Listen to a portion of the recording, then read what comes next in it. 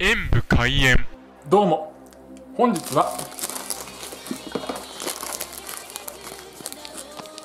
ちら山崎のダブルハンバーグの照り焼きバーガーを食べたいと思います。なんかいつもと違いますねこれ。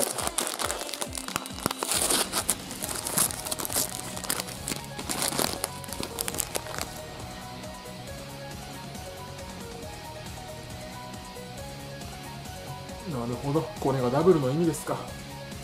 ではいただきます。ダブルは2倍ではなくて2乗なんですね。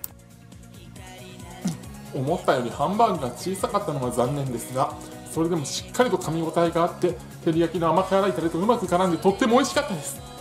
次はトリプルとかやってくれたら嬉しいけどそれは無理かな。